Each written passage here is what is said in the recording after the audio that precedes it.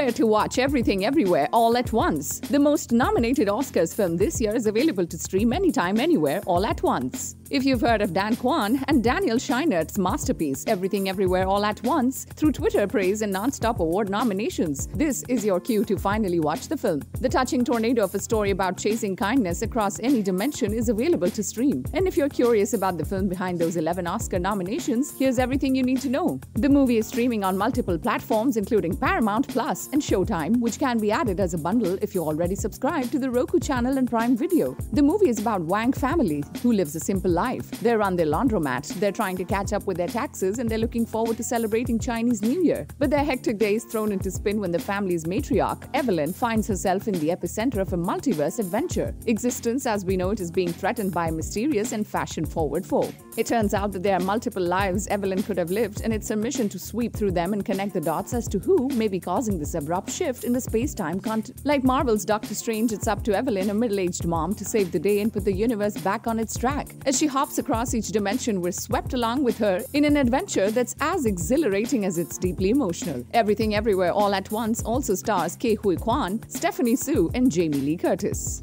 Subscribe to our channel for the latest on your favorite celebrities. Like, comment, and share, and don't forget to press the bell icon for notifications.